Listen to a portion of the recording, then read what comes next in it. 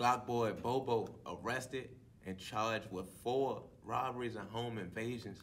Y'all tuned in to King Nuski TV 804. If you're new to the platform and you want to support me, right, make sure y'all hit that follow button, like and share the content.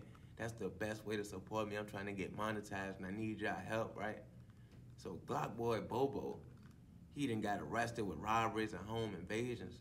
They said the little, his little clique of gang, who he with, at a certain time of the night, if you outside, they gon' they gon' run up on you in 211.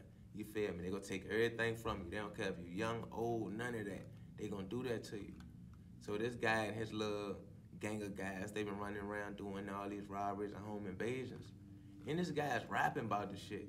You feel me? Rapping about the shit, putting putting evidence against him on social media, all type of shit. Y'all know how the young guys do these days. They want everybody in their business. Everybody got to know how many bodies they got, how many robberies they got, all this bullshit. And guess what? It all end up being evidence against them at the end of the day.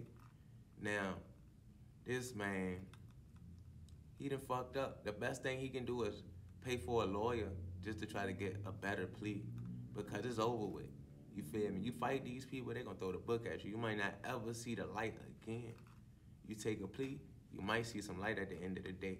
This shit crazy, right? Y'all give me some feedback in the comment section. It's your big dog, Big CEO Nuski. Y'all tuned in to King Nuski TV 804. If you're new to the platform and you want to support me, right? Make sure y'all hit that follow button, like and share the content, and leave me a comment on the video, right? Shout out to the community. Shout out to International Drill. You feel me? Make sure y'all run it up. I'm out.